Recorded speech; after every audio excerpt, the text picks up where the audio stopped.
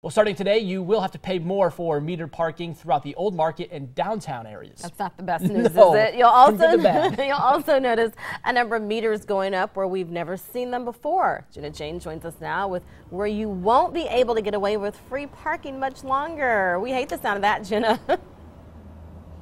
Good morning, Dave and Serese. Yeah, these uh, poles all along the Farnam Street here in Blackstone, they're going up and very soon they're going to have those heads on them. This is going to start to be metered parking. Now, yesterday we saw crews installing them up and down the street, but as of now, there is no set completion date for this project. However, crews are making good progress. Plus, you'll start to see more meters here along 24th Street in South Omaha's business district. While it's free right now, store owners say people take advantage of the two hour limit and that hurts their business.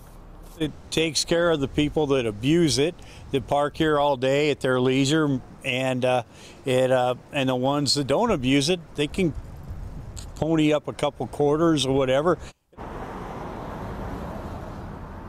So these meters will fall into those new rates that we're seeing. And as of right now on Park Omaha's website, these are listed as two hour meters. Now, if you are someone who's parking overnight here on Farnam Street, you're going to need to find somewhere else. The goal again of this is to push people into those lots so that way you can find some of those cheaper rates, about a dollar an hour. Or in South Omaha, there's also some free public lots on 24th Street, so you're going to want to check there.